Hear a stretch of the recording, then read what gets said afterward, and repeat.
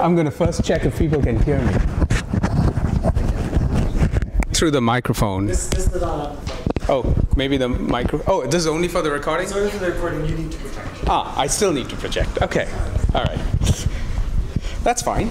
I will try and do my best.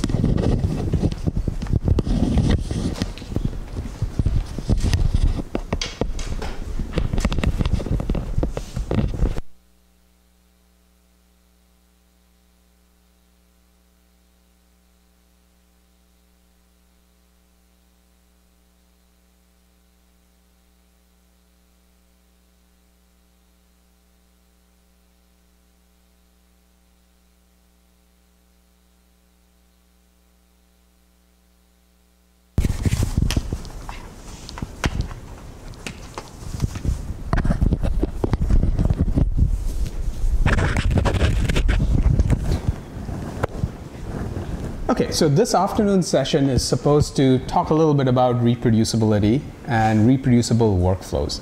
And so I thought I'd spend a few minutes kind of talking about reproducibility while the hub comes online. Uh, and then, if the hub doesn't come online, I hear that you have Docker installed on all your laptops.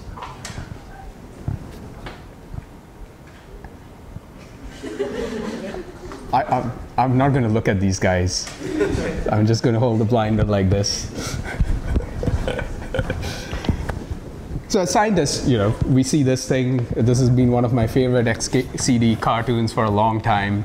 We want to see that something keeps happening. To me, that's really the sense of reproducibility. That if we do something, we expect to see certain patterns. If we don't get that pattern again, then we think about what are the differences that cause the change in pattern.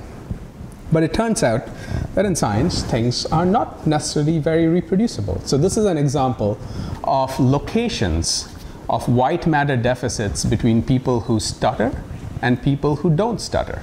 And I'm sure if you look at the locations, you will say there is no consistent pattern in this figure. But that's the state of science right now. Yet when people write about this, they often write about white matter deficits being in, under the left ventral motor cortex premotor cortex.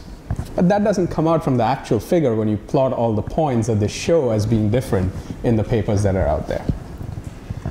I'll take another example. So this was Josh Carp taking a particular data set and analyzing it with many different workflows. And at the end of each workflow, this is an fMRI contrast, he points the peak coordinates of the results on a brain. If every workflow gave the same result, I would expect these points to be clustered together in very localized settings. But that's not quite the case. Did you have a question? Oh, okay. So there's variation in activity based on analysis pathways. More recently, work from Tom Nichols and others have shown that you know, the different models that we use in our various dominant analysis software are actually different the error models are different across SPM, AFNI, and FSL in how we do GLM type analysis. So we would expect by that difference to get differences across these things, but we don't necessarily run our analysis across these three types of software most of the time. We choose one and stick with it, often because our lab uses it or somebody told us that this is the software we should use.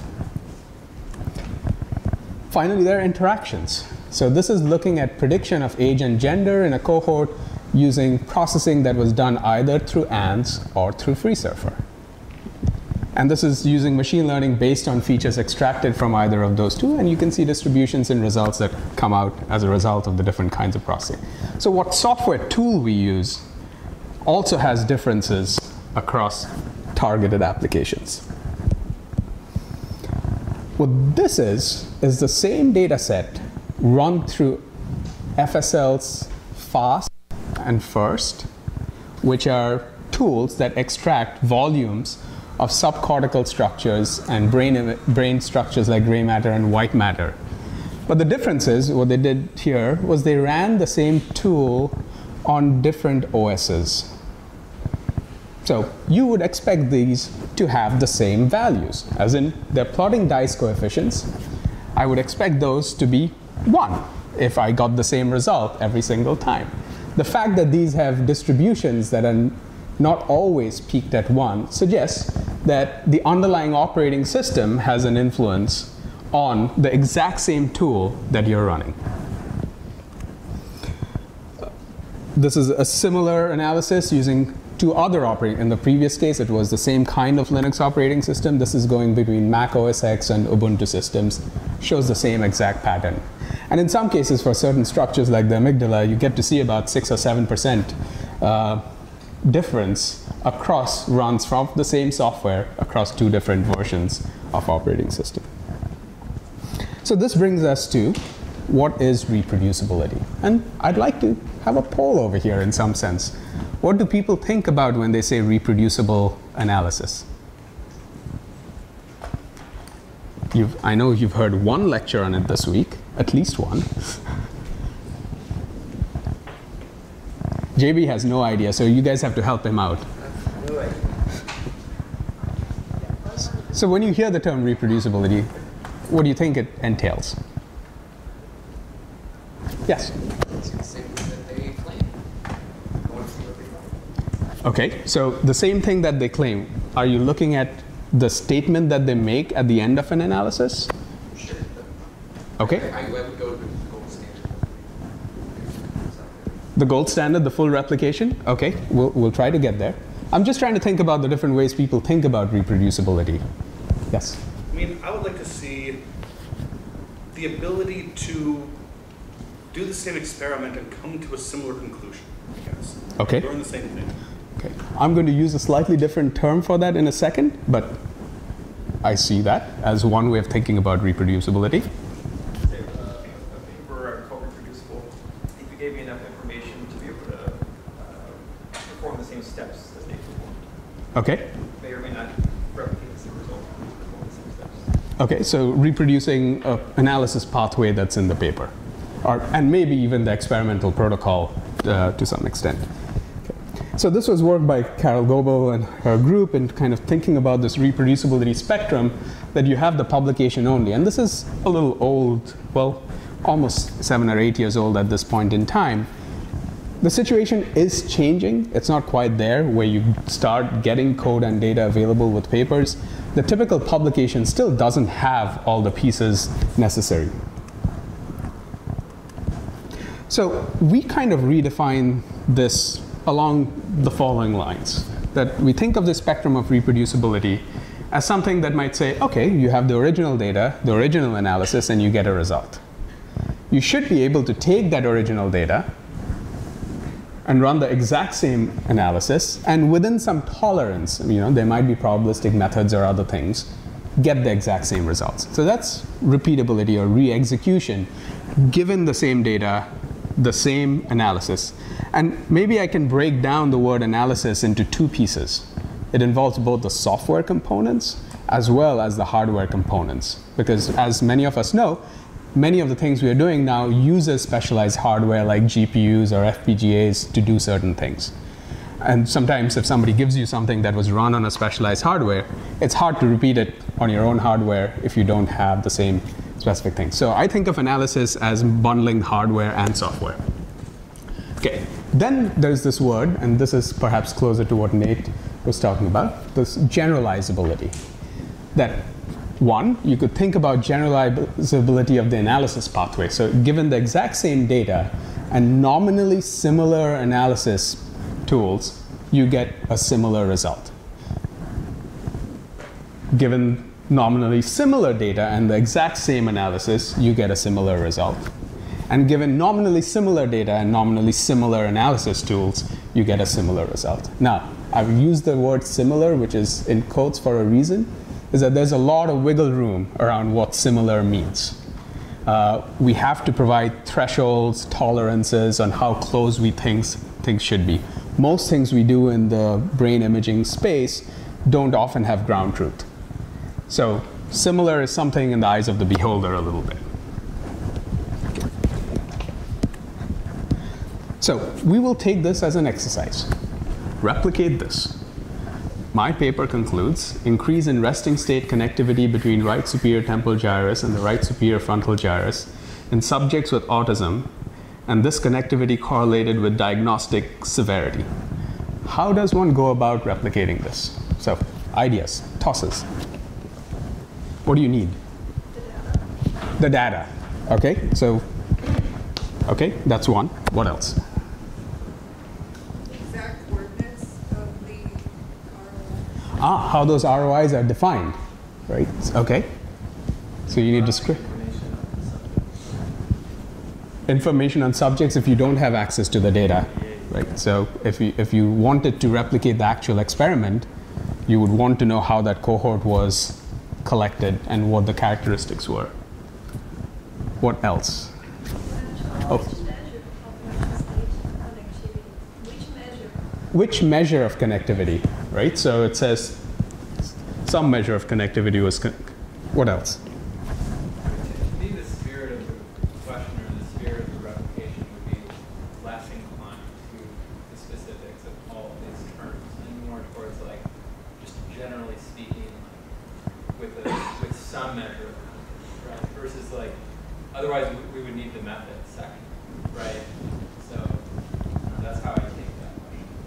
Okay, so the most generalizable form of this is any measure of connectivity under any definition of these ROIs under some cohort that describes uh, this is I think yeah subjects with autism, right? Under some notion of autism diagnosis, under some scan under any scanner or sequence that collected that data, and I should get the same kind of result. Given what we've seen is that wh- where one would go to the full generalizable extent? Yeah, I guess. I mean, I think that it would also have to do with like what was the point of this paper, you know, or like what was the point of the result, right?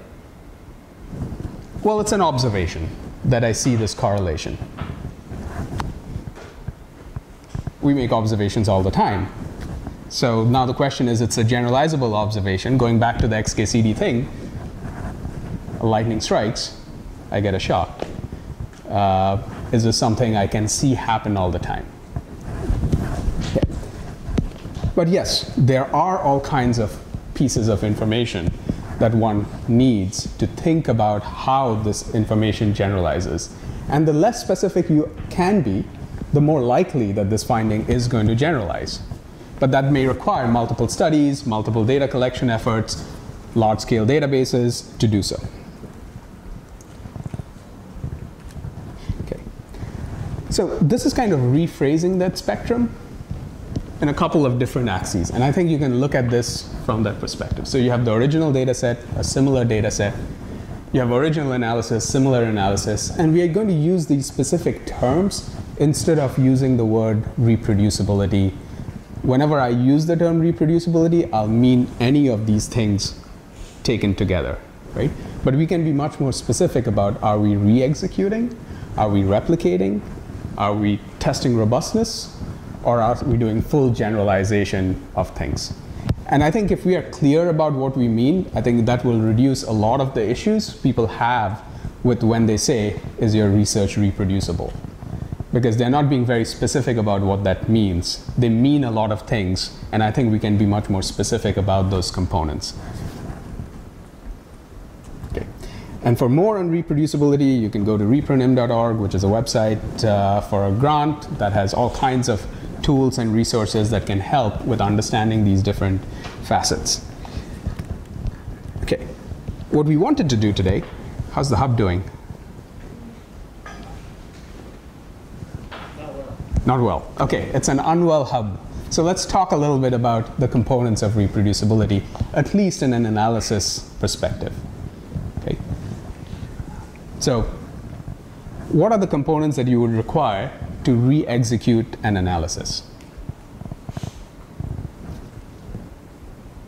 Yes. Same computing environment. Same computing environment. Okay. And what? W- and by that you mean So same hardware, same software, same versions of the software. Okay, so same hardware, same software, same versions of software. I think that's important, right?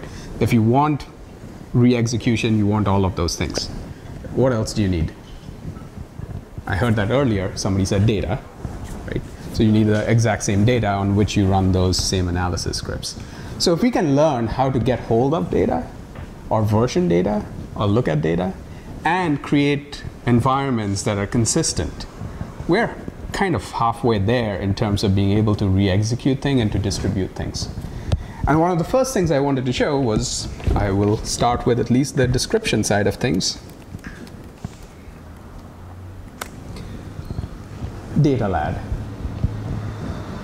How many people here had never heard of DataLad? Great. That means all of you now have heard of DataLad. You don't know what it does, but you now know that this term exists. So Data DataLad is, uh, how many people here are now familiar with Git? How many people are totally have no clue what, a, what Git is? Fantastic. You guys did a good job. So Git is typically used for versioning code, things in text files, etc. Data DataLad builds on a software that builds on Git called Git Annex. And Git Annex was built to solve a very simple thing, which is how do I share my MP3 files between my computer at home, my computer at work, and some other devices that I have access to. What it does is, is it can point to different stores of data and it can move data between different places. So imagine I have a giant collection of MP3 files. I don't want to copy it to every device I need to listen to it. I might copy only 10 tracks from a file. So Git Annex provides this capability of versioning those MP3 files, or more generally, any file, and allows you to move them between different resources. There's something called the Git Annex Assistant, which acts like Dropbox, syncing things between different stores. So DataLad is built on top of this thing called Git Annex to help version data.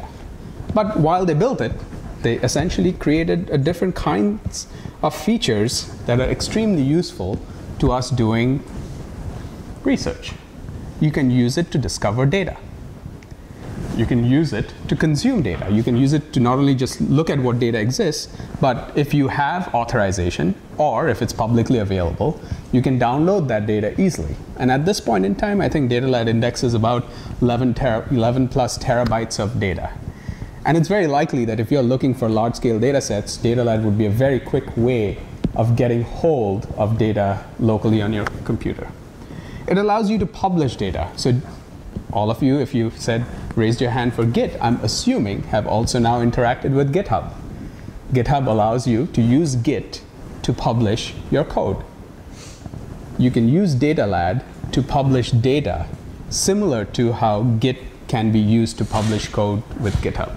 In fact, you can put DataLad datasets on GitHub assuming that the storage, the actual storage of the data is elsewhere. You can store it on GitHub, but that's going to cost you a little bit of a pretty penny, depending on the size of the data. It itself has a data portal, and actually before I get to data portal, I'll show you that. Reproducibility. So two recent features that were added to DataLad is the ability to say, I'm going to execute this shell command. And DataLad can track what inputs went into that process step, what outputs were produced, and track the provenance of it using the same thing that you were doing when you were using Git to track commit messages for your code. You make changes to your code, you say git commit, and you put a message. Using DataLad run, you can run existing tools on the data set that's under version control, and DataLad can track what step you ran and what data, what steps were produced. You can, in fact, use it to even re-verify at a future point in time that if you rerun that same step, you're going to get the same exact output. So that's a quick way of getting to the three pieces we need, right? Um, the data, the execution commands or steps that were used, and to verify that you produce the same output. The third piece that it has access to now is something called DataLad containers run. Uh, we, we weren't going to try that today if we get things working. Uh, but what DataLad containers run does is it can take Singularity or Docker containers, depending on the environment you're set up in, and actually attach your environment. Because effectively, those files are just another set of binary files. So now your data set can not only connect, collect your data, it can also store the environment in which you ran an analysis. So let's take a quick look at the data portal, available data sets. And it's called datasets.datalad.org.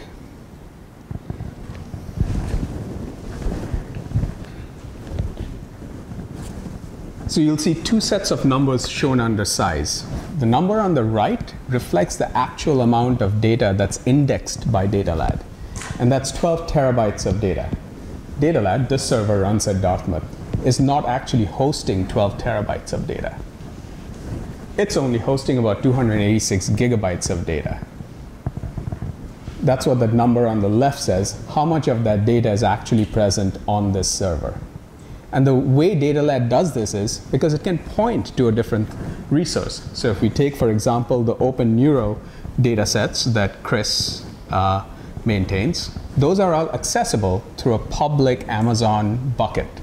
So DataLad can simply point to that and say, if you need that data set, I can fetch it for you from there. So it indexes the metadata around the data set and stores that information. So let's take a quick look at one of these things.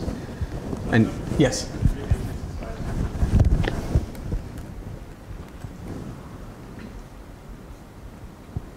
Is that better? Okay. Um,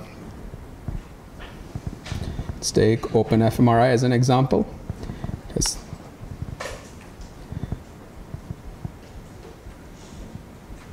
and you can now see the various data sets that are part of OpenFMRI accessible through this search index.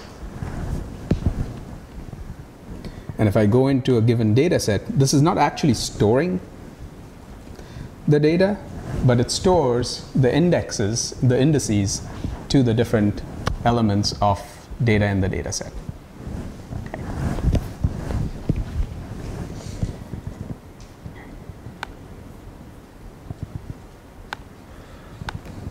Okay, okay, so we're okay. We will assume that we can't do anything on the hub, which means we are going to improvise and try and see if we can do something on our computers. So first, let me just get a show of hands. How many people don't have Docker running? Okay, there's one, two people. Is it possible for you to sit with someone who has Docker so that you can follow along? Go ahead. Uh, Uh, follow along. Uh,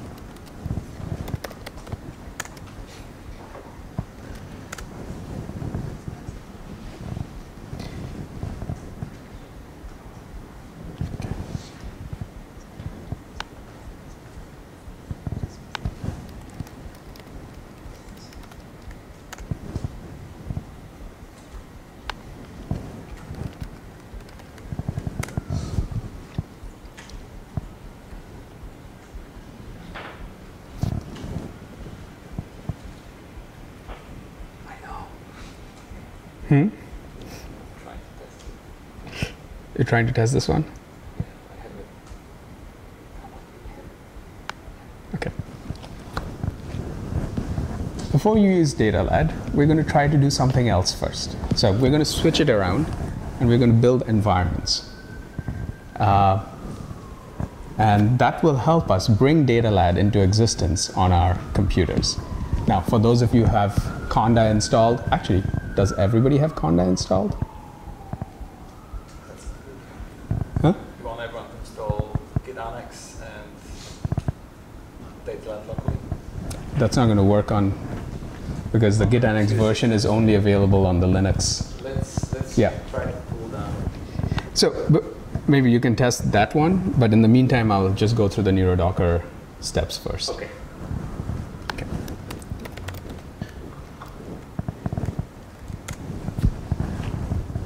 So we've talked a little bit about environments, uh, so I'm going to just switch it around. We'll get back to DataLad in a, in a bit.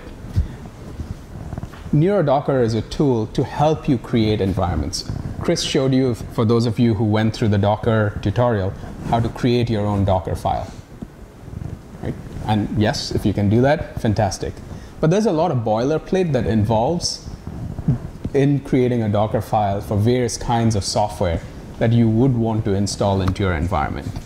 The intent of NeuroDocker is to help simplify that boilerplate and provide two things. So it started supporting support only for Docker files, but now it can also generate singularity files.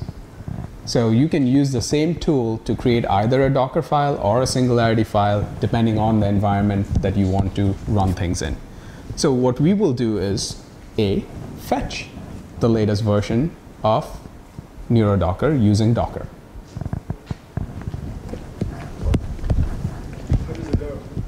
It's a the hub is a go? Okay. updated plan.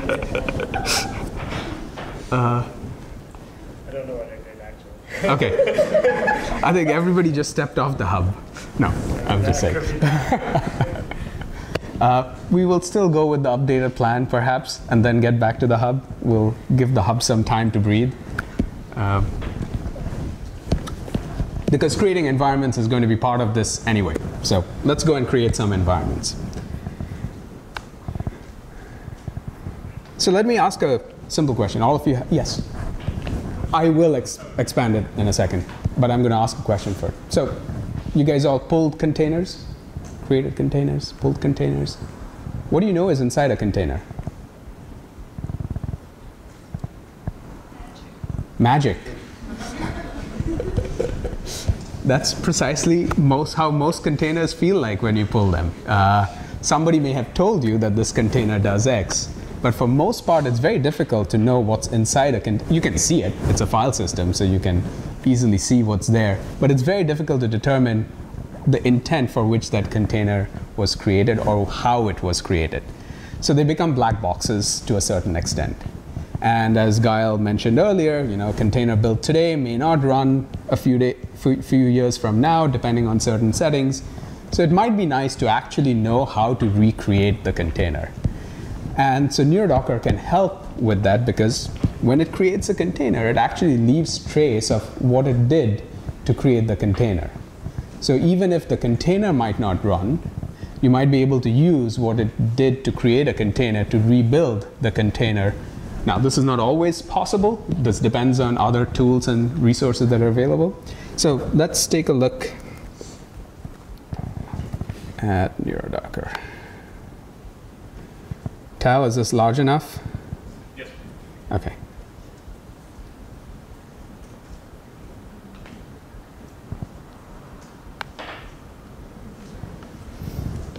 So it's a command line program that helps you build containers. And since you guys don't have this image on your system, what I'd like you to do is to execute that first command, docker run dash dash rm, and I will paste the link to this GitHub repo on the Slack channel. So, sir, are we gonna, going to be building Docker with Docker? Stop calling. Are we building Docker with Docker? Well, we'll be using a tool in Docker to build Docker. A tool in Docker? Oh, this tool? I, I will explain in a second what that is. But I just want people to kind of start running it. Because the first piece doesn't do anything. It helps everyone get this container on their computer.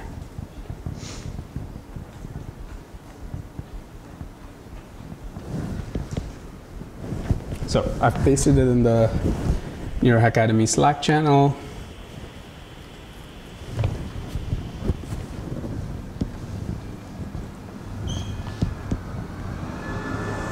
It should be a fairly lightweight container to download. It doesn't actually contain all the imaging software.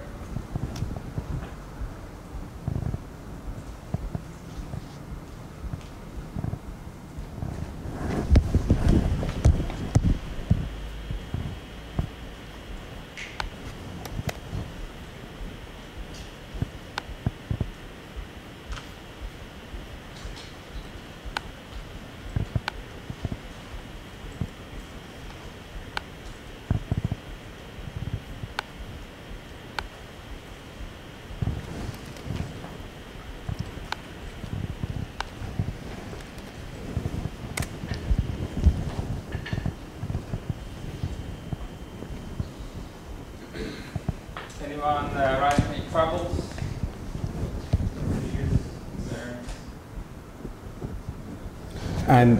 you No matching distribution. This is the code, just ready to go. So. let me increase the font size of that terminal.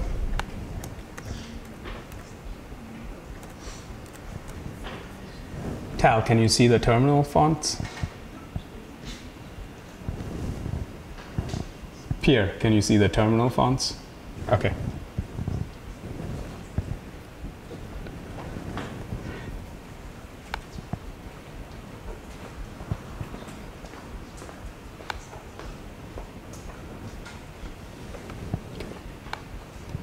Now, if you wanted, we are going to run NeuroDocker through the docker run command, but it's also a Python package, so you can actually install it as a regular Python package and run it through that. However, it will still need Docker to actually build the Docker file or Singularity to build the Singularity file. It doesn't actually build these things directly for you. So let's take a look at the set of things that it supports. So many, it's very brain MR imaging specific as opposed to EEG or MEG or uh, IEEG tools.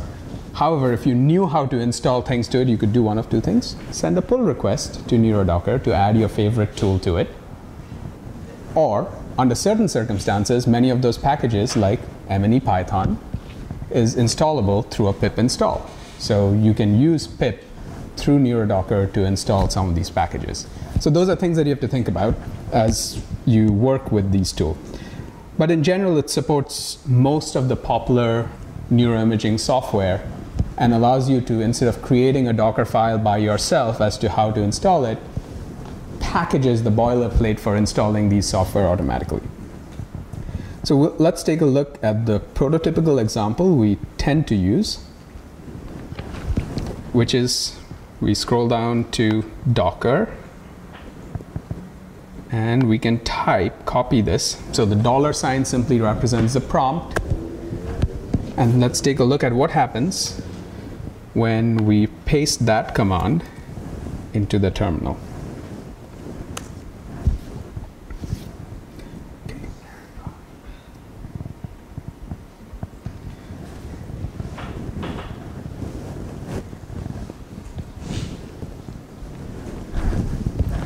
So I pasted this command under Docker into my terminal. So let's break down this command a little bit. The generate keyword tells NeuroDocker to generate a Docker file, well, to generate a file. The Docker keyword after generate tells NeuroDocker that I'm looking for a Docker file and not a Singularity file. The dash dash base says if you've built a Docker file, you say from this base image, then do other things. So this dash dash base tells what that base image should be. So in this particular case, it's the stretch release of Debian. The one thing that you have to do still is know what package manager to use for a given operating system. There are two broad classes of operating systems that are supported CentOS or Red Hat based operating systems, and Debian or Ubuntu based operating systems. So, Debian and Ubuntu use apt, CentOS or Red Hat uses Yum. And then the last piece over there says install ANTs, which is a neuroimaging software package, and install version 2.2.0 of ANTs. And once you run this, you realize that it creates, a, it generates a text file. Now, I could run this where I, I'm going to do this for a second. I then write this out. Let me just. Uh,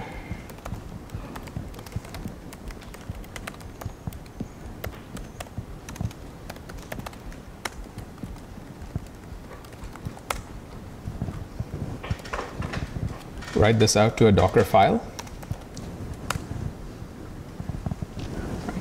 And I can look at this Docker file. So you can see that it says from Debian stretch. And then it has a lot of things that it puts in there. So it creates a startup script for you. It updates the installation, installs a bunch of default tools. And then it has a section where it's setting up ANTs. And it's actually installing the binary release of ANTs for 2.2.0. Now, for every single software that's available on NeuroDocker at this point in time, these argument options tell you the different variants of things that you can do. So for example, for ANTS, you can compile it from the source on GitHub, or you can install a predefined release. Uh, FreeSurfer, for example, has one where you can install a minimized set of binaries if you're just doing recon all and didn't want the 730 binaries that normally come with FreeSurfer. So it allows you to customize your environment to what you need to operate on. And one of the best places to learn how to use it is to look at the examples gallery.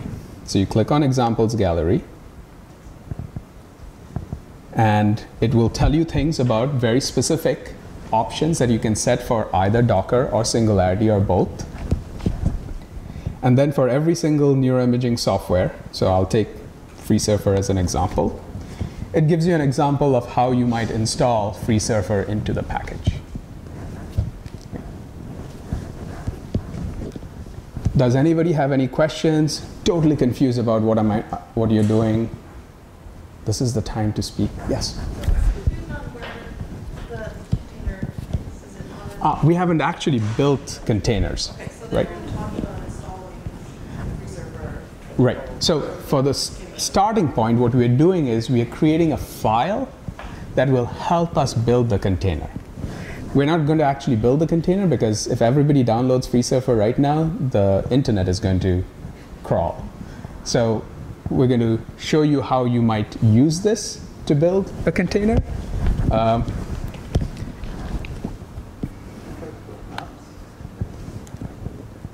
it will still take some time. We can do it. We can test the internet. People up for testing the internet up here? All right. So once we actually build it, then where is the container? Ah, so let's, I'm going to try building it on mine and hopefully the internet actually uh, does work. Yes? Ah. Okay, so there are two types of container. The question is, what is singularity? Uh, there are two types of container technologies, actually more than two types of container technologies out there. But two popular ones are one is Docker, which you all have been exposed to. The other is Singularity. Now, Docker, you will find that many HPC clusters at your institutions refuse to install and run. And that's because when you run Docker, you you actually escalate the privileges of the container to root status. And system administrators don't like people to be escalated to root status at any point in time. The other piece is you could have a malicious container and that could do things inside your system that is not good for the system. So most system administrators will say, we will not install Docker on our system. That being said, there are certain national labs which actually run Docker on their systems. They just control what containers you can run on the system. So you can flip it around as saying, I'm going to allow Docker, but I'm going to control the containers and what's used to build the containers in terms of running. Singularity runs at your user level. Yes, it escalates privileges at a few places, but that's very tightly controlled. So most system administrators are fine with installing, or I shouldn't say most, many system administrators are fine with installing Singularity on HPC clusters. And I think there was a thread I saw while I was away of an email thread and a link from the Sylabs' website on how you might convince your Yeah, system administrator. Yeah, there's a link that's in the Slack channel of a template email if you need to send it to have them install it. Yeah. Uh, but many institutions already now have Singularity running. And so, just like there's some different underlying technological differences in how Docker containers and Singularity containers are built, the fundamental difference is Docker builds on what are called layers of info, layers that are piled up on top of each other, and it allows reuse of layers across common containers. Singularity images are single images that encapsulate an entire environment. But functionally or conceptually, they're similar in the sense that they both spin up an isolated environment that's separate from the actual environment you're working in with the pieces of software that hopefully are things that you need. So if we are going to build a container, which was the question, what I would do is to pipe that command to docker build. And I like to use a tag, so I'm going to tag it as NHAC, NeuroHackademy container, just for the moment and put a dash at the end. Let me see if I can make this even larger.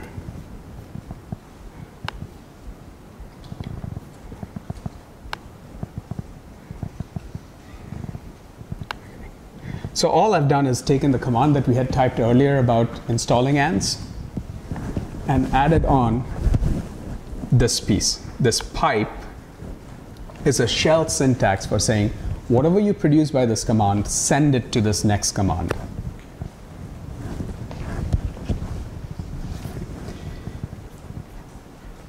And if you want, it's actually in the original NeuroDocker page. If I go down to Docker canonical example, you can see there's a, this pipe to Docker build dash at the end.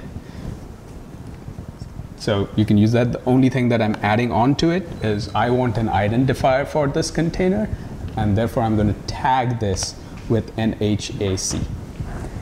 The other nice thing I can try to do is to say, you know what, it would be nice to version this container in some way. I'm going to use this.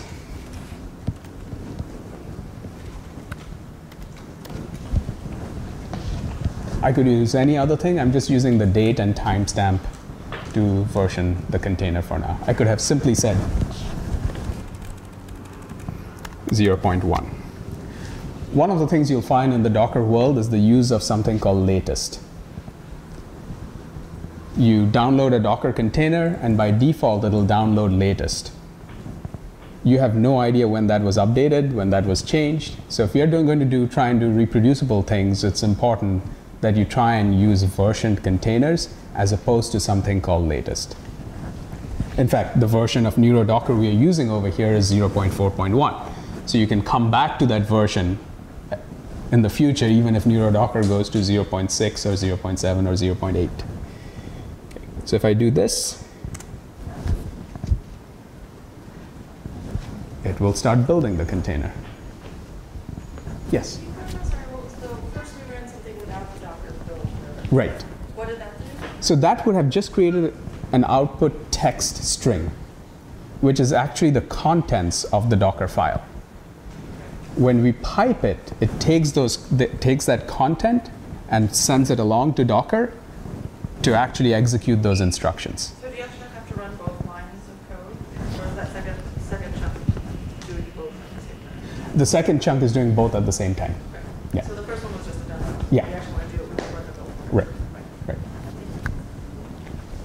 Any other questions?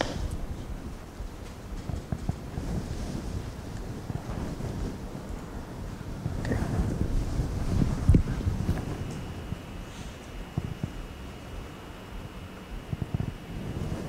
Let's see what speed at which it's downloading.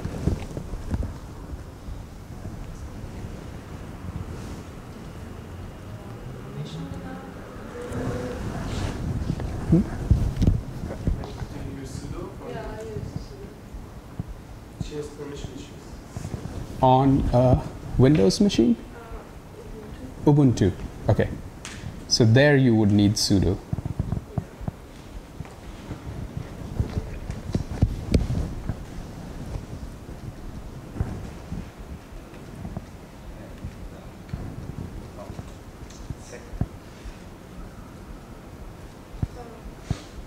Here, yeah.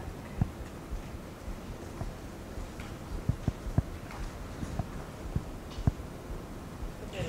I did two sudos. Yeah. There are two Dockers.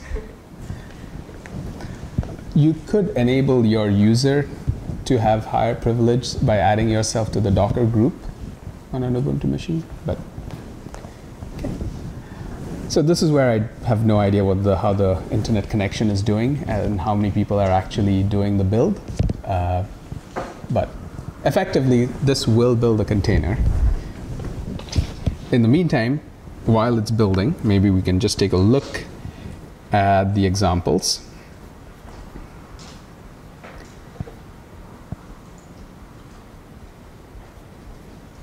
A little more.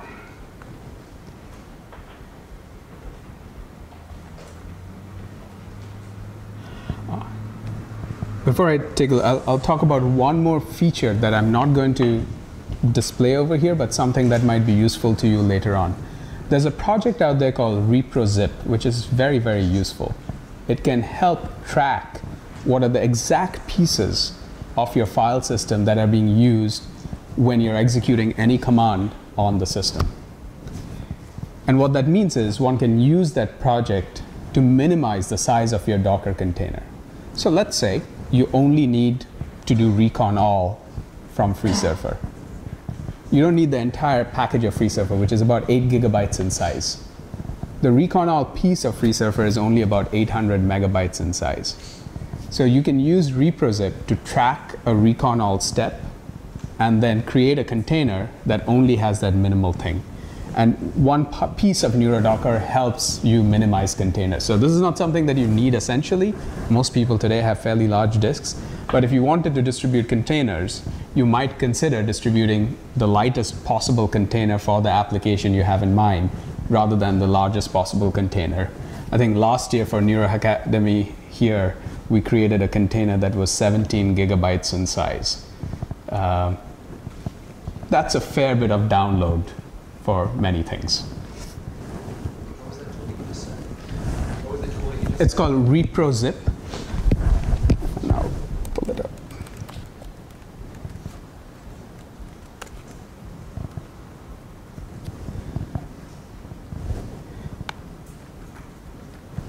So if you go to reprozip.org, it will tell you. It's a very nice tool. There are constraints on where you can run this. Uh, it will run only on Linux environments as opposed to OS X or Windows environments.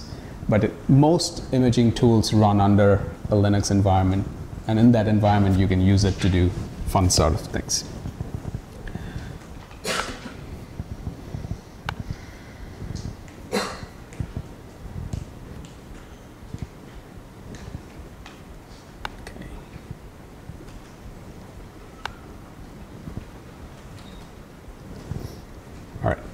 So I'm not going to have you create other things. Let's see if that thing has finished. No, it's still downloading ANTs. So um,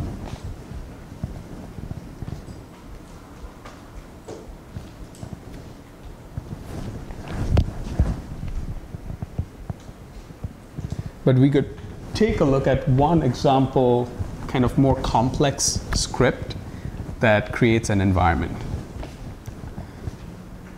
So this is using NeuroDebian as the base image. It's installing a bunch of tools, Convert3D, ANTs, FSL, uh, a GNU compiler, and other things into it. It's adding an entry point. So for those of you who use FSL on a Linux system, you have to initialize where to find FSL. Some cases it's uh, made default by your system administrator that you can use, but typically it needs to find it. So it's adding to the entry point.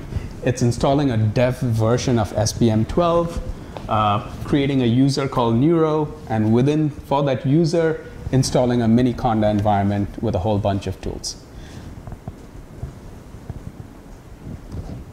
This allows you to create fairly complex and custom environments, and this is the environment that's used in Michael's uh, Nipype tutorial, roughly speaking, that involves installing a bunch of different packages that can be then run with Nipype. Okay. And there are Docker and Singularity versions of this. So all of these, uh, one of the nice things about projects out there is you can look at examples. You don't have to kind of come up with how to do this. You look at examples and say, okay, how did they install these things? And I can go through it. The NeuroDocker examples gallery itself has examples for every single tool that NeuroDocker currently supports. And one of the latest additions, for example, this was added in, I think, earlier today, is VNC. Uh, so you can create a Docker container with a remote X server that you can then connect to from outside the container.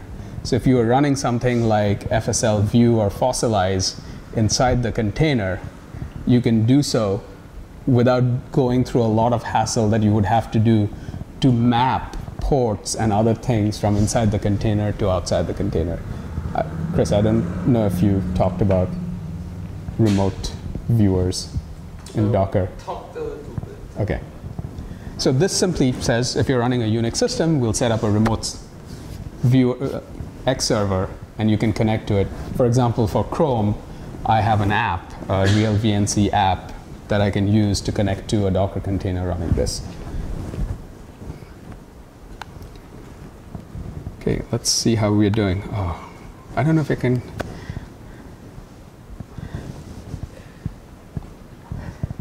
I'm going to kill this.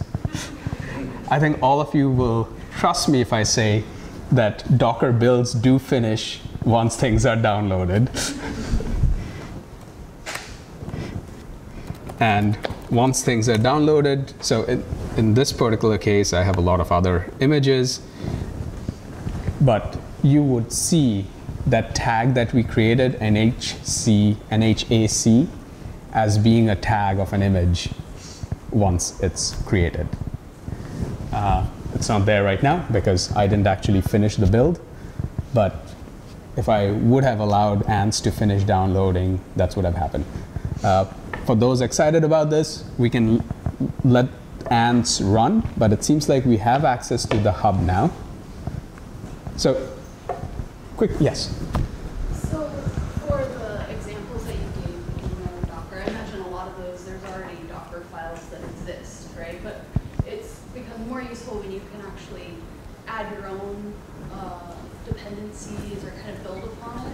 So I guess there's an easy way, once it generates that text file with the standard stuff, to then kind of add to that or manipulate. Absolutely. So they are, so the purpose of NeuroDocker is to create these specification files, whether it's a Docker file or a Singularity file. And you can modify them if you want. What we tend to try and do is to actually use NeuroDocker to add any additional instructions to it so that there's a single script that we can rerun to regenerate that file instead of creating something and editing it. But there are situations where you may want to add things. Uh, it would be good to know if you run into such a situation, uh, post an issue, uh, let us know, and we can try to see if A, it's a missing package, which would be easy to add, or if it's some construct that's missing that should have been there as part of support. Uh, but it's a fairly flexible tool to install all kinds of environments. And I hope you can use it to create different kinds of environments. Ah, I will talk about one thing in the Docker. So I did create this Docker file earlier. And if I look at the bottom of this file, it has this thing that it adds on into the container, which is basically the instruction set that it used to create this file. So that way, even if I gave you this container as a binary blob later on, you could come back to this and say, oh, I can recreate this container using this instruction set that's inside the container. So that's one way it at least tries to make the container not be as much of a black box as possible. Uh, but the world is moving towards an open container specification, which will make all of this a lot easier and transparent uh, in the future. It's not quite there yet across all these containerized projects. Okay, any questions about NeuroDocker? Otherwise, we'll switch gears and I'm going to check the hub and see if magic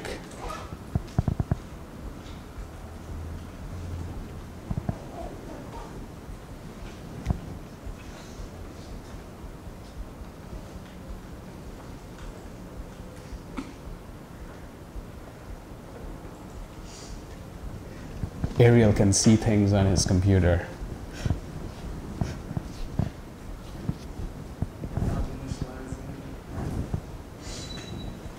Should be running. Awesome. Great.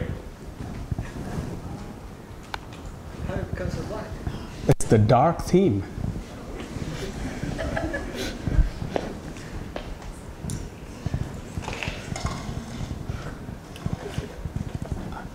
I mean, okay, it's under settings. Jupyter Lab team. Like. I mean, why would I use this when I can use this? Well, there is actually a reason. Do you know that uh, our eyes, when there's a lot of light coming in, they close the pupils, and you get a wider field of uh, effective focus. So if you're That's it. far away, it should be a brighter So no. it'll just be in better focus if it's dark on bright. It's basic vision science. Ah. I do. But it looks cooler. The contrast, though, is a little better with light on dark. Focus, yeah. Foc- we'll, we'll do a psychophysics test next week. All right, so we have this, uh, and now we can go to Files, click on Files, click on the Home icon. Can people read this from, or do I need to make it even loud? All of you have it, so it's a little easier, even if it's a little blurry up here. Uh, we'll go to reproducible imaging, notebooks, and introductory data.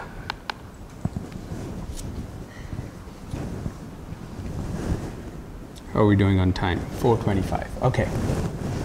We will go through DataLad and then we'll take a five, 10 minutes break and then come back and finish off with Nipype. Okay. So normally I would say I wouldn't be using a notebook to do this because I'm going to be executing shell commands in a notebook. It's really a terrible thing to try and do. Ideally, I would just have a set of things on my left and a terminal open on my right, and I would type these things into a terminal. The reason I'm doing this in a notebook is that people can look at this as a notebook later on and follow it. But it's really not the best use of a notebook. Uh, it's one way of doing things. And it actually asks me to do some crazy little things like help dash np, uh, which is the non-paged mode of a man page command. Uh, otherwise, it gets stuck when doing it. Yes, Gaia.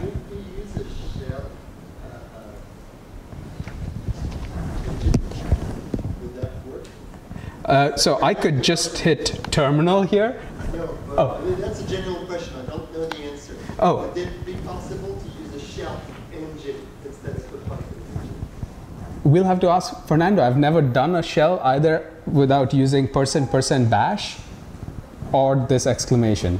I don't know if there is a shell kernel. Oh, I think there is. There is? Okay. There's a shell. There is a shell kernel. You can do all that. If this is all shell, you can save it in the shell. Okay. But you need to. I've never used it. Ah. That's. So yes, it's possible. Uh, next time. So in the meantime, I'm just going to tell you a little bit about the syntax. This exclamation mark in the code cell basically tells Jupyter to execute the rest of the command in a shell. Uh, so you will see this coming up. So the first thing we'll do is just ask for help. And it gives help. And DataLad claims to do comprehensive data management. And it has a lot of different commands. And you can ask for information about these different commands as well. We're not going to go through all the commands that it has. But one of the things that we might want to do is to get a data set from somewhere. So we want to be able to install a data set from some remote location. And similarly, you can ask specifically for the help of this subcommand. All right. This is the other syntax of executing multi-line shell commands in Jupyter when you don't have the shell kernel enabled, which is to do percent percent bash. It tells the executing thing, execute all of the remaining lines in the shell. And if we look at it, we are seeding to slash data on the system, and then doing this thing called datalad install triple slash.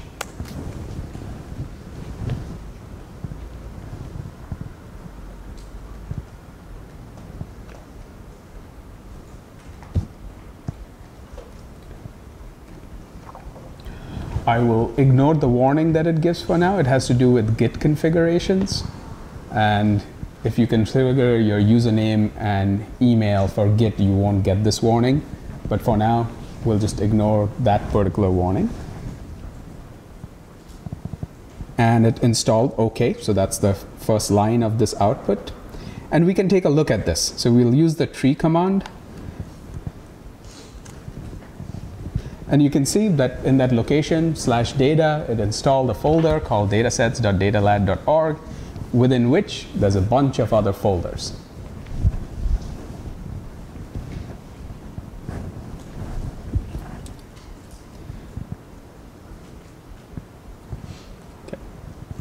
This didn't actually, it, it worked way too fast to bring in 12 terabytes of data to your hub container. It's not actually pulling in data, it's pulling in a metadata index to the data at this point in time. So the next thing we're going to do is try to see if we can do something useful with it, which is we're going to search for things. And you can, again, use datalad search dash dash help dash np to get the full help of the search command. Uh, and it says I need to provide a data set and then I might make a query. So it goes through the whole explanation. What I'm going to do is to do a very simple query on a fairly popular data set that has been used by neuroimages a lot, the Haxby data set. So I'm going to go to this line and I'm going to, as, as you can see, it says datalad search and it points to the data set location where I installed the meta or the super data set. And then I give it this key text string called Haxby. And I'm going to execute it.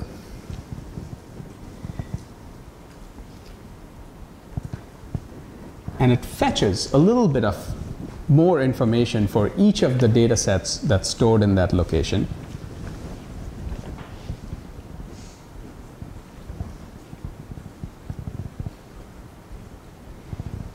And then returns this search. And it says that it finds the keyword Haxby across all of these different data sets. So since we like Chris a lot, we're going to do the next search by searching for his last name. It's also much easier to pronounce than his first name.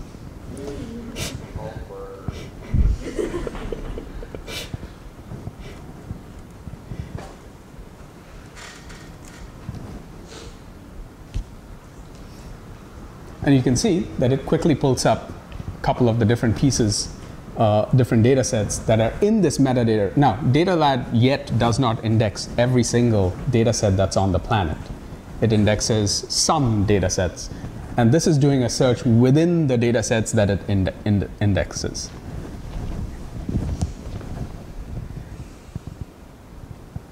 So now we'll install a version of this data set. We used this at an Nipype workshop last year at NIH called DS000114.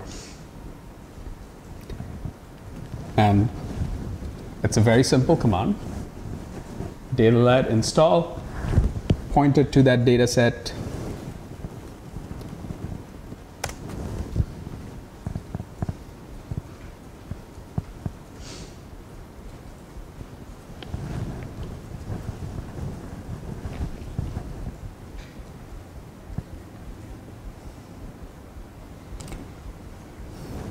Again, that was way too quick for it to have pulled in a full brain imaging data set.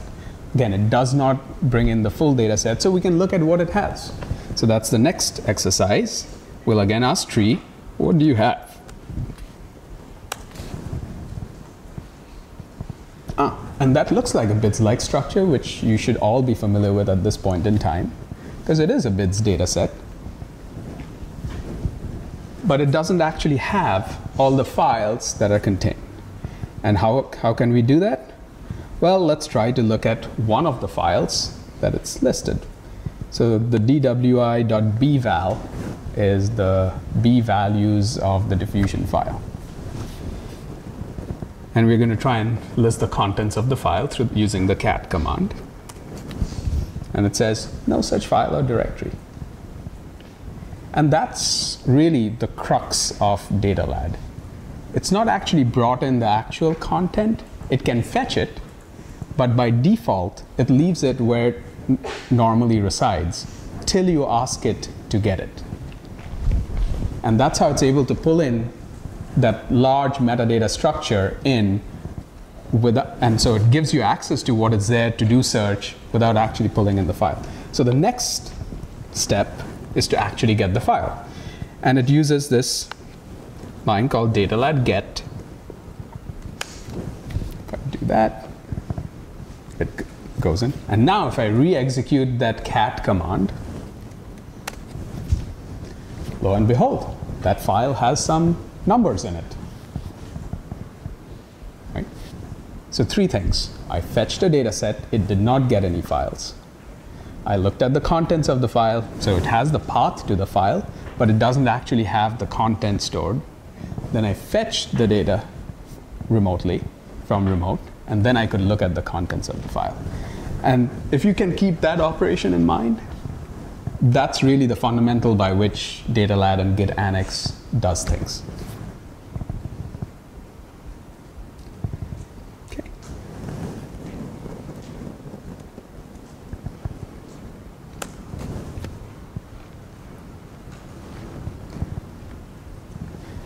Also, so the next thing I'm doing is just doing an ls on that data set, and it gives me a version. Because effectively, it's versioning your data. What this means is, in the future, you would be able to pull specific versions of data from such a repo. So if you want, so an example would be the HCP project. The HCP project initially released 30 subjects, then it released 100 subjects, then it did 483 subjects, and then the full final data set. But along the way, it actually re released versions of the data because it had to do reprocessing for some of the subjects. So some papers were published under certain versions of dataset that's not the current version of the dataset. So if you wanted to replicate those papers, you would have to go and find that specific version of that dataset under which those papers were created. Something like DataLad, even if you change, let's say, DICOM conversion, or if you're actually looking at MR sequences and creating new reconstruction algorithms that generate new versions of your DICOMs, you can store those different versions and can go back to any given state of the data set because you can version it just like you version code using Git on GitHub.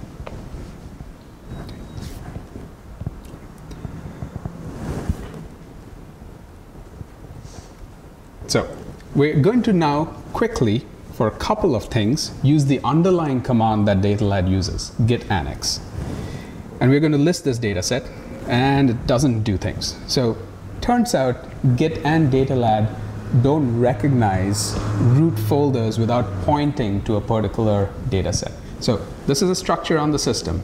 Just like your code directory when you use git has a .git in there, which stores all the metadata about your code, the objects and the references. Datalad has not just a .git folder, also has a .datalad folder that helps it manage these data sets. So you can see in the next one, we actually go to the data set. So we first cd to the data set and then list things. This list tool or command is quite useful because it basically says what is located on my system, what is, look, what is available remotely. So you can see those five lines coming down from the top. Those are five different locations where the data could be located. The X's specify where that file exists on a remote server.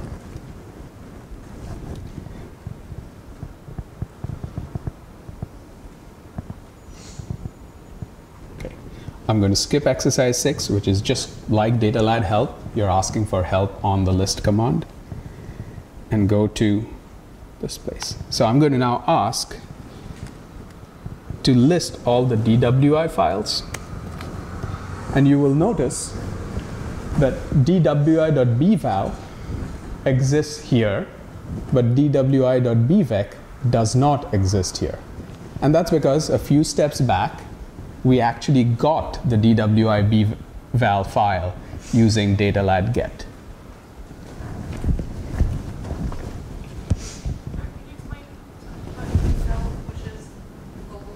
Ah, so if I look at each of those columns, the X's say that that is present. So the first column is here, and it tells me.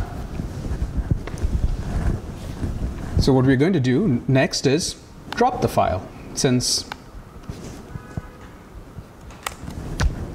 so data datalad drop now removes the file from locally. So let me give a practical situation where this might be useful. Let's say you want to do analysis on the HCP dataset, which has 15 million files. It's not available through datalad right this minute, but let's say it was indexed under datalad. You don't want to download the 15 million files from HCP. You may say, I only want the T1 files, or I want the T1 and the first resting runs. You would be able to get just those specific files using something like datalad as opposed to getting everything, which normally happens when you go somewhere and go tar gz download, right? You get everything. HCP is not necessarily the best example because you can use the client to selectively search for things and create a tarball of just the pieces, some of the pieces that you need.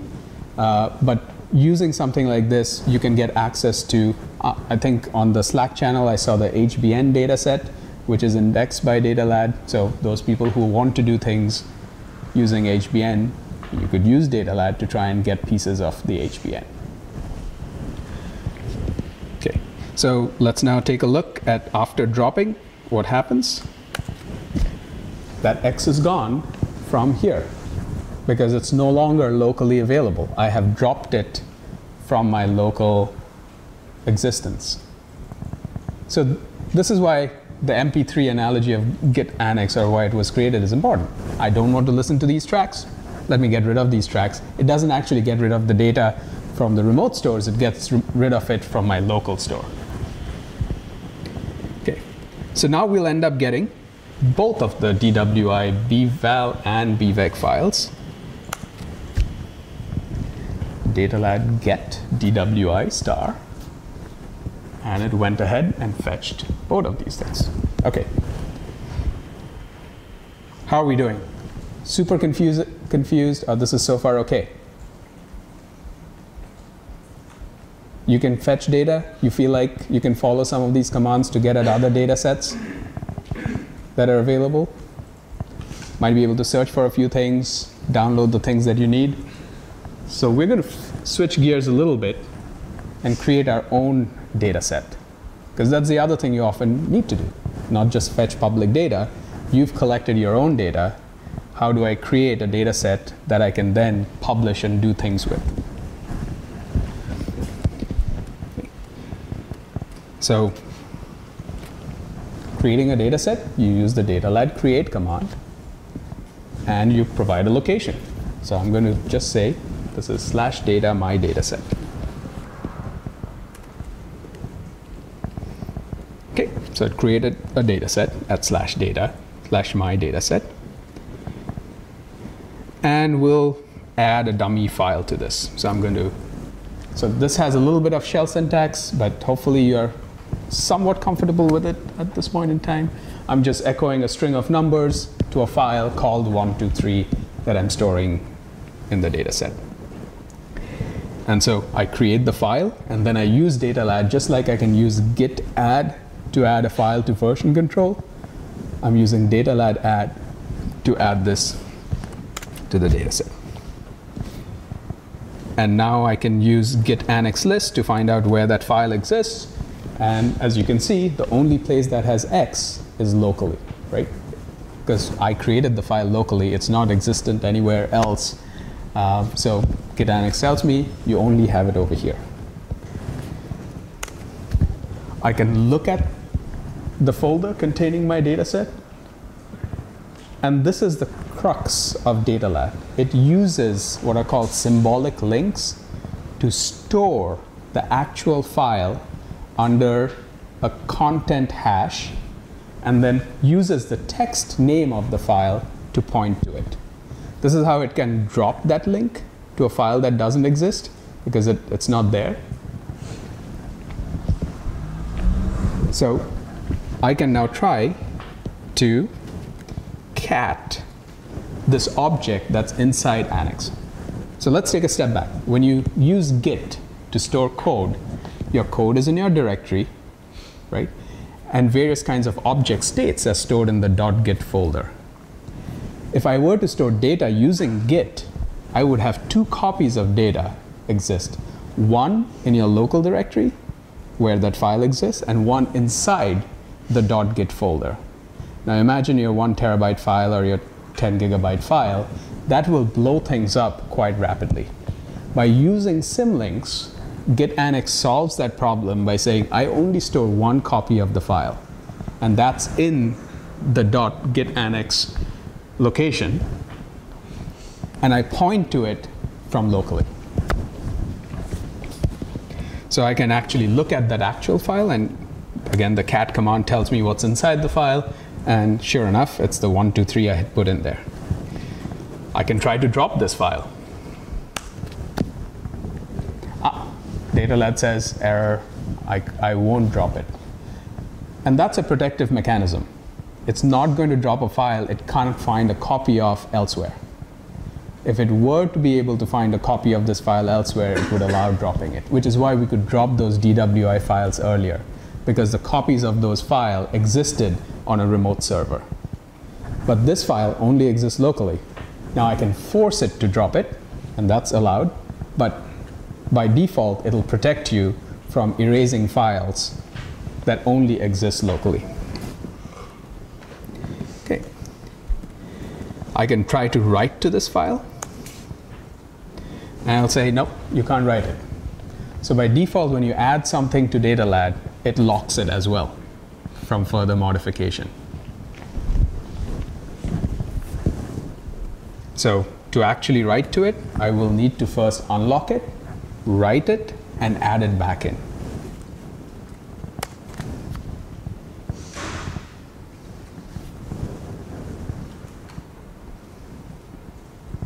Okay. If I try to write to it again, it will again complain because now I've added it back in and it's locked in. Question? Yes. Keep track of the changes. Yes. So if you were taking large files and making changes to them a little bit at a time, it will also blow up the state of things. So in that sense, it's like Git. It keeps tracks of changes. And you can reset the tree so that you remove copies of things. But typically, for example, the raw data, which is often the largest set of things that you have, is not changing. Right? And, and so that would likely not be a scenario that you run into a lot of the time. But yes, that's something you have to be aware of, that it does keep track of the changes. It's just like Git for data.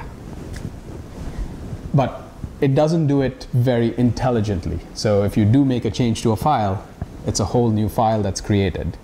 And there are other mechanisms that they have uh, backends for which allow storing only the actual binary differences rather than all the changes.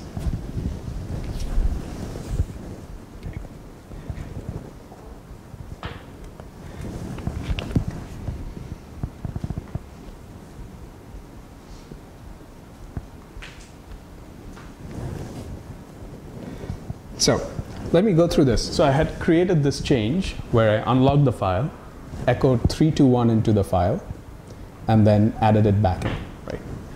And then I tried to echo 123 and I could not because it's locked. I look at this, my data set again, and now there is a very different MD5 sum because it actually has different content. Right?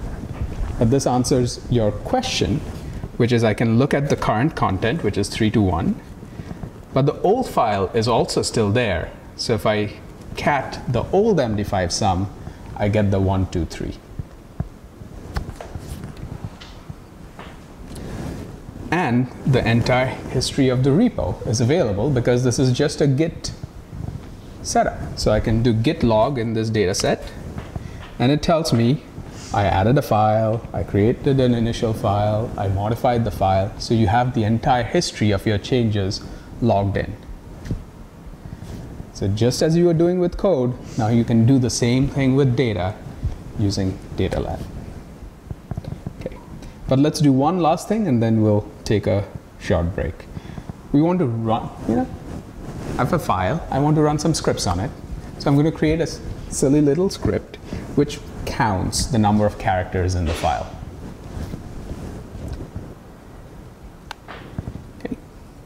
So I create a directory, I write a script into it called run.sh. I change the executable bit on it. I can show what's in the script, and then I add this to scripts. Now note that unlike the previous add commands, there's an extra flag that I've added over here, and it's called to git. So now I'm telling DataLad, add this to the git repo and not the git annex repo. So I'm not I'm treating this script as a regular text file in the git repo as opposed to a data file that should live in the git annex repo. Okay, it did that. And now I can introduce you to one of the most useful commands that they have recently added to DataLad, DataLad run. Uh, I know it's a little hard to see over here, the contrast. Maybe I should switch back to white, but uh, only temporarily.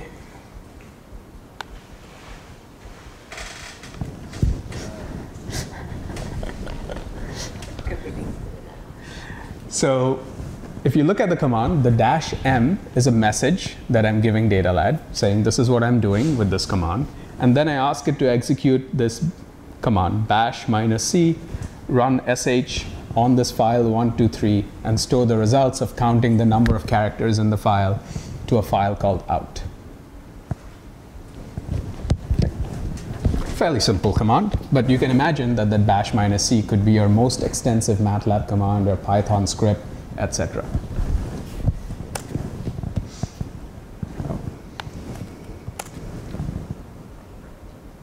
And it ran the command. It says command start, command exit. So now I can go and do the same command I used earlier with git log on the data set. And you can see that the command is now encoded in the history of the data set.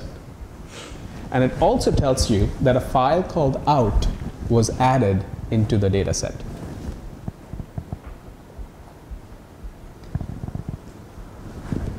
This is a little bit of git foo. So it's the dash dash stat option of git log, which tells me a little more information than I get just out of git log.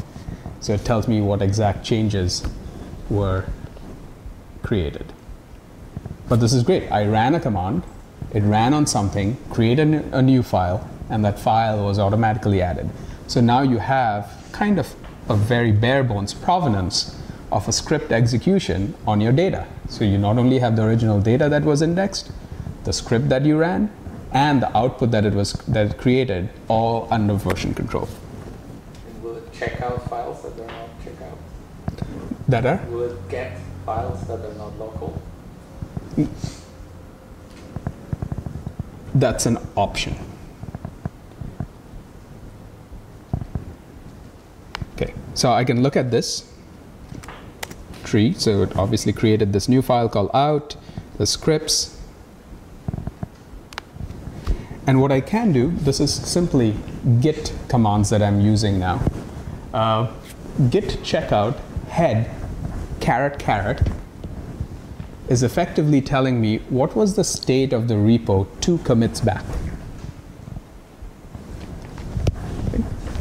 So if I run this thing and I'll parse the output, so it says two commits back, you only had one, two, three in your data set. But now you have one, two, three, and you have the run.sh script and the out file that the run.sh script created. So this is how you know the entire state. And because this is a Git history, you can actually switch back to that point and get access to the state of the repo at that point in time. Okay. And I'm going to stop with this last one. Because this is kind of the last piece of datalad run, which is datalad rerun. And what I'm asking it to do is to check out master, which is the current state of the repo, rerun since uh, since allows you to specify a specific commit and it will rerun all the steps that it took since that commit. And it, it will create a new branch in the Git repo called verify into which it will store these things. So Let's run this and we'll take a look at it in a second.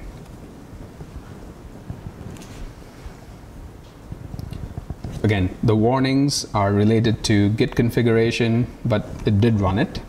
And now we can look at this with git log.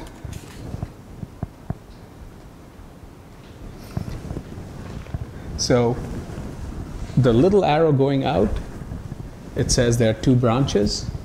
And so it actually created another out file in a different branch by rerunning things. And we can do a diff between these branches. So this is like saying, if I rerun the same code that I ran before, did it produce the same exact output? So go to dataset, I go to master, and now that I have two branches, I can use the standard git diff command to look at the difference between the branches. And basically the fact that it doesn't return anything tells me that those two branches contain the exact same content.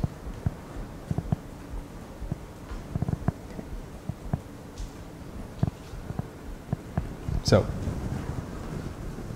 I will not do exercise 8. I'll let you guys play with it later on. Yes? So you're inferring that there is no change or that the result is the same because they're, the diff returned nothing? Right. So if the content was different, git diff would have said these two files differ. Or these files differ between these two branches. Now, you can easily imagine that in an actual imaging scenario, there could be various floating point differences in the outputs of the same scripts. So you would get differences in those situations. But there are many pro projects and programs which also create outputs which don't have floating point differences if they use the proper random seeds and other things. So in that case, you would get the exact same output. But if there were differences, you could also use it to see if those differences are within some tolerance that, that is okay with you. Or you could do more advanced things like looking at peak coordinates of clusters in those files if you're running an analysis similar to Josh's example that I gave earlier. So the basic idea here is that you can use DataLad to version your data, track the commands that you're running on your data, track the outputs produced by the commands, all under version control. Now, uh, Jarek told me to show something which I'm going to leave for perhaps next week because it'll require a set of interactive steps. DataLad now has something called DataLad publish to Figshare. So after you're done with your analysis, you could go DataLad publish to Figshare, and it will take this repo and create a tarball and send the information to Figshare that you can then get a DOI for and put with your paper. But that's like more like an export then. Yeah. But it is an export with the full history. But can you install from Figshare? Can you like use it like a backend, like S3? Or So in Figshare, it'll store as a bundle. If you were to download it, it'll be like a tar of this local. Everything, Yeah. Uh, DataLad also has ways in which it can mark things as sensitive. So if you're converting DICOMs and storing it using DataLad, you can mark them as sensitive so that they don't get exported or published to a public location without your explicit permission. So it has a lot of different features that can actually help you to think about how to curate your data.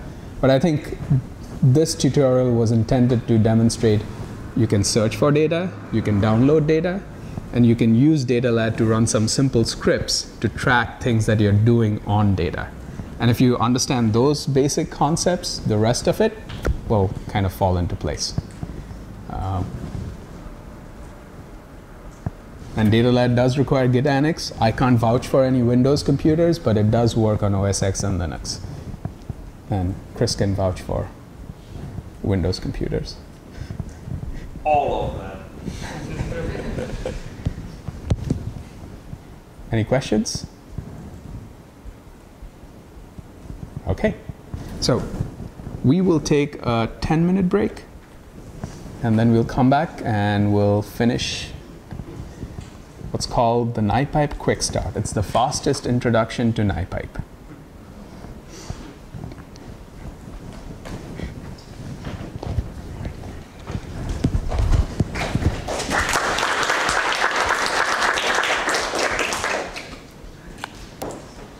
You don't have to do that because you haven't actually run it.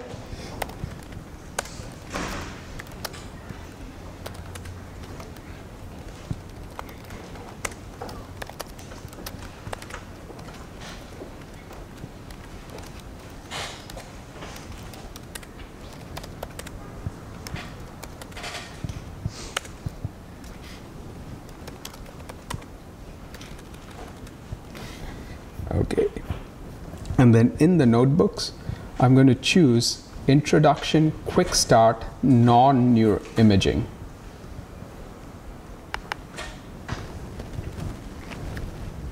Okay.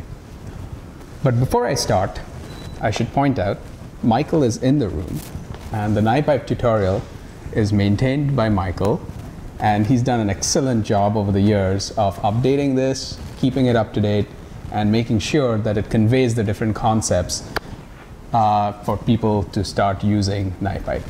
So I'll show you the full page. Many of you have probably seen this.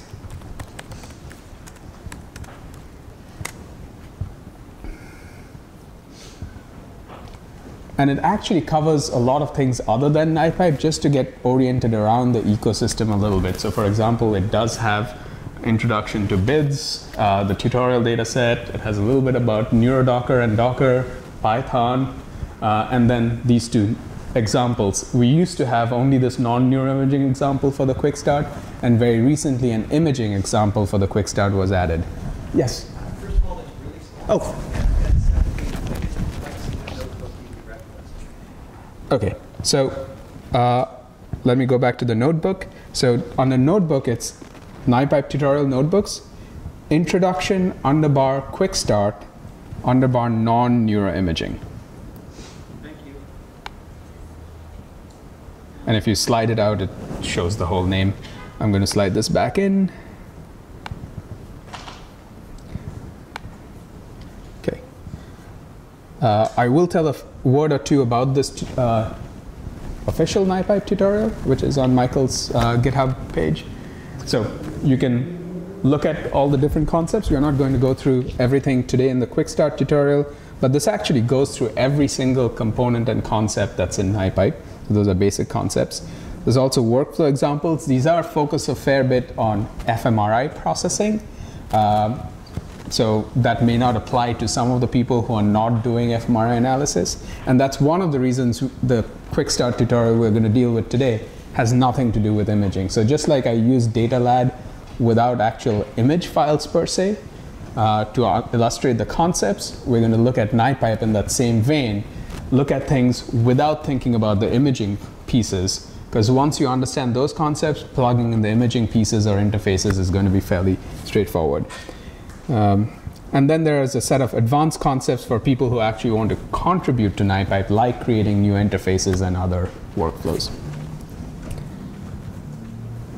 Okay. So going back to this, let me see.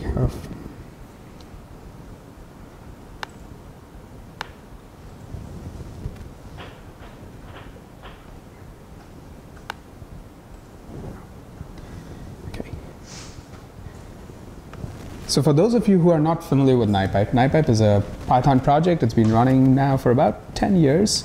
Uh, the current version of the code base, I would say, was created around 2011 and it has been refined, but the API hasn't really changed since 2011. So it speaks to the stability of the current API, but we keep improving things underneath it. And the general idea behind Nipype was we often were running different kinds of tools, whether here is just illustrating with SPM, FSL, and FreeSurfer being three popular things. But if you think of the whole gamut of imaging, you often end up using certain kinds of tools that either somebody tells you this is a great tool to use, or you have a specific need because a certain data set that you've generated requires that tool.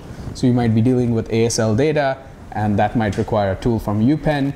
You might be dealing with some kinds of diffusion MRI, and that might require DMI pi, uh, etc.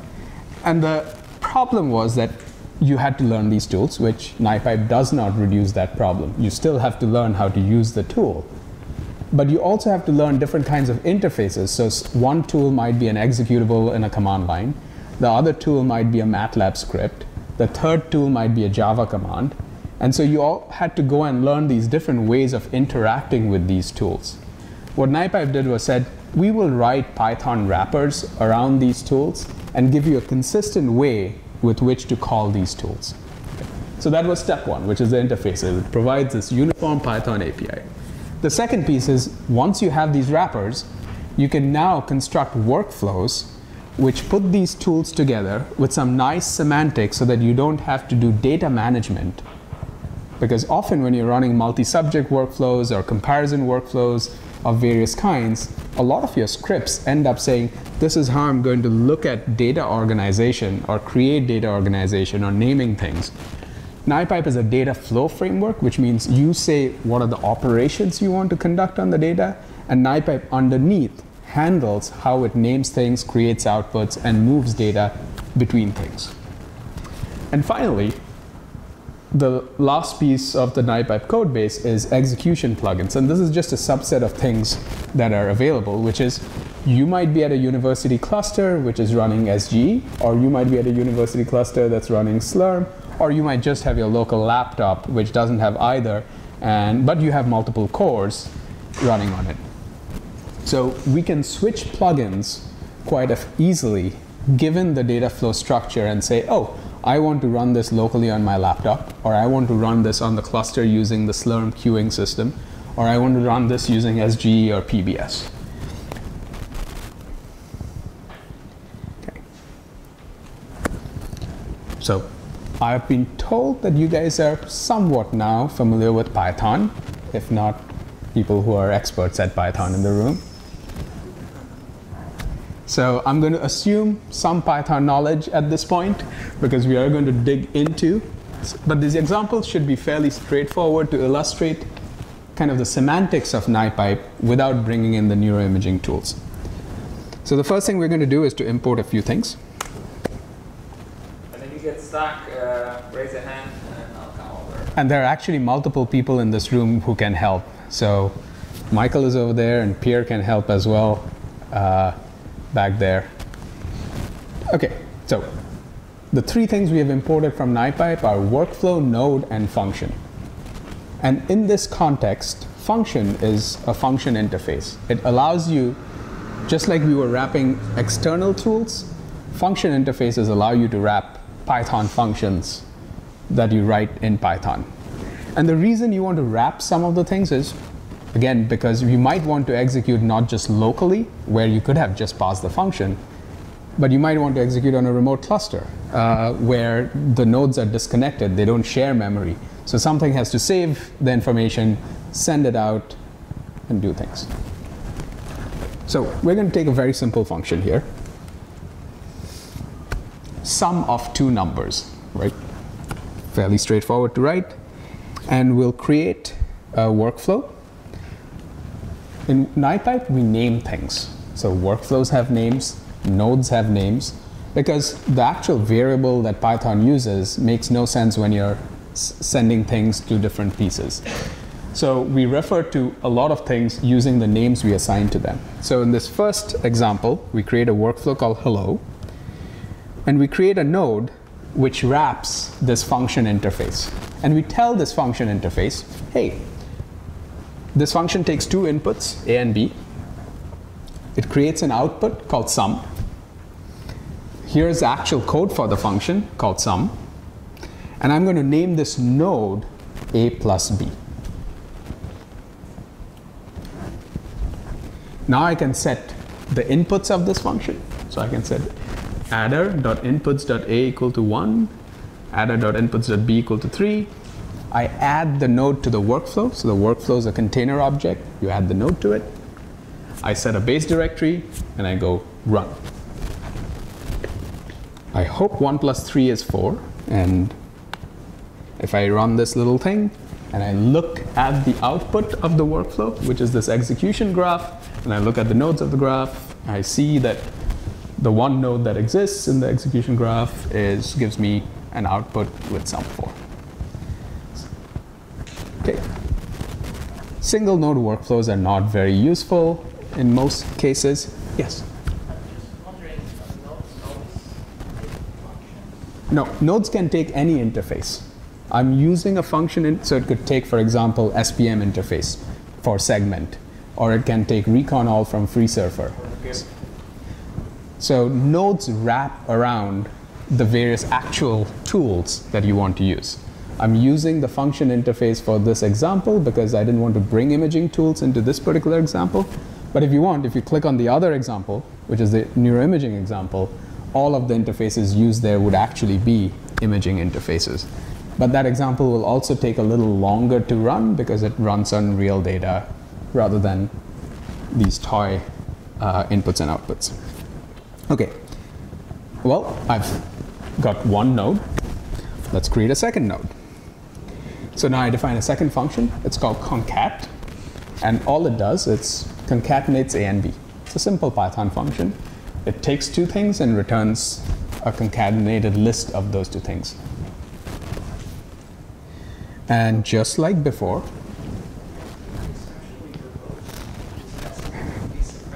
yes. So uh, for the moment, we like it that way, uh, but from a control perspective, you can set the logging level to critical only, and it will suppress almost everything except when it runs into errors.